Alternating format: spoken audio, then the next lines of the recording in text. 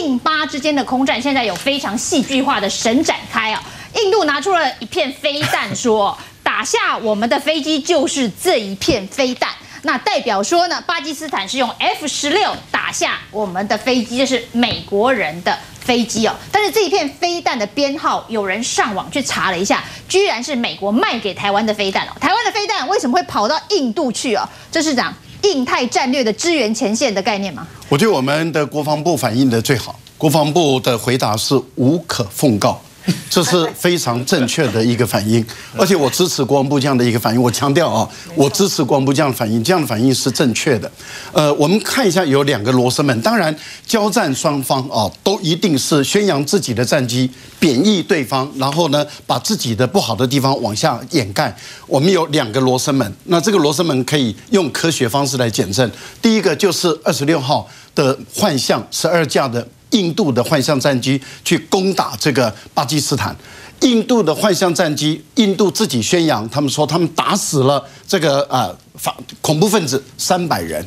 但是十二架的这个幻象战机，每一架可以载啊四吨重的炸药，每一架可以载四吨重的炸药，有九个挂弹架。那十二架的战机，他们分成三个小队，每一个小队是四架。假设我们一队啊一架是作为警戒机，另外一架是作为这个防护的，或者是两架作为防护，那么另外一架就是作为空对地的攻击的话，那另攻击的那一架，它的最大的载弹量可以有四吨重。那你如果分为三个小队的话，那就总共应该是十二吨重的炸药。那如果说假设你分成两架，那么再有这个各两吨重的炸药，那么来减轻它的负担，然后能够适应于空战的话，理论上讲，你至少投弹也可以到十二吨重左右。但是当天的时候投弹只有一吨，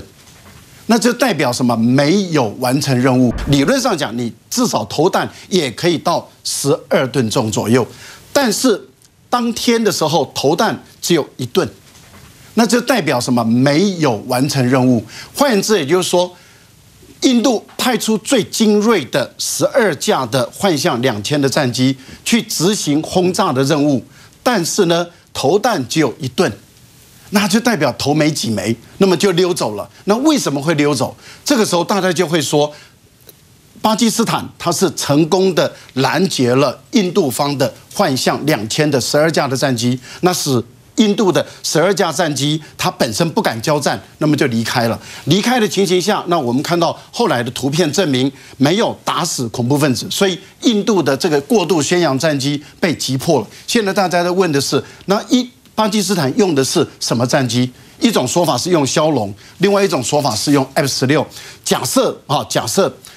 印度方已经越界了，攻击这个巴基斯坦。巴基斯坦假设起飞的是 F 十六，合理的，也合法的，因为美国卖给巴基斯坦的 F 十六战机只能够作为防卫用，不能够作为攻击用。那么，如果它承受到印度的攻击的时候，它起飞 F 十六战机去进行拦截，这个是合法。但是问题就在于，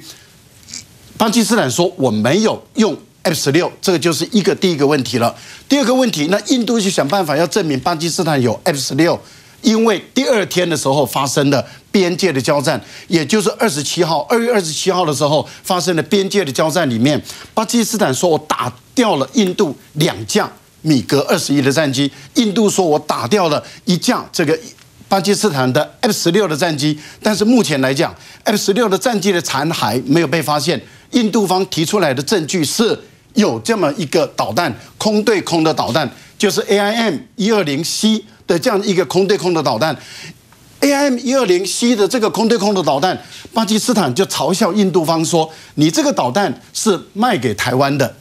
不是卖给我巴基斯坦的，他拿的是一个外销的文件嘛，就是说从国防部的外销文件上去看，拿了这个外销文件里面，他用他的批号来做证明，这个批号在这导弹的第三排小行的第三行里面，在这个地方，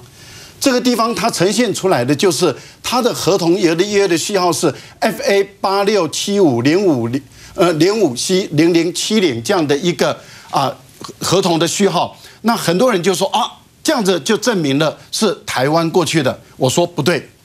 因为这是合同序号，合同需要由雷神啊，由雷神卖给出口的海外的这些